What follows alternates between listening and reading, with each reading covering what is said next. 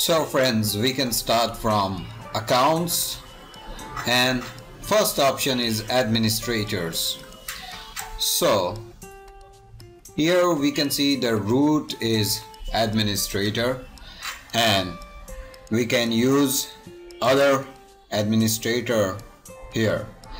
You can see here the advantage of this ISP manager control panel is it's suddenly open a new tab this is a good facility. You can close the tab and you can you know once you click on a new and you have to give the name login name. So here I give the Sahil full name palm and password 123 123 and you can make it super user.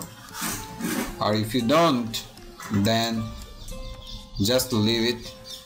You can also generate the password from here. Just copy your password anywhere. And it's a good option you know.